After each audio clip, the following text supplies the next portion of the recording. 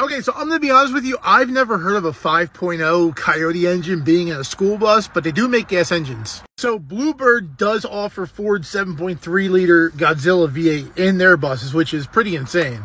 Now, with a performance aspect, I don't think a school bus is going to have the performance that most vehicles have with the 7.3 liter.